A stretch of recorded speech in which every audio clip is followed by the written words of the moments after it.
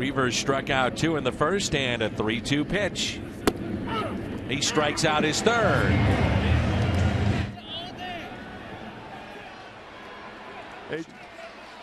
I don't know.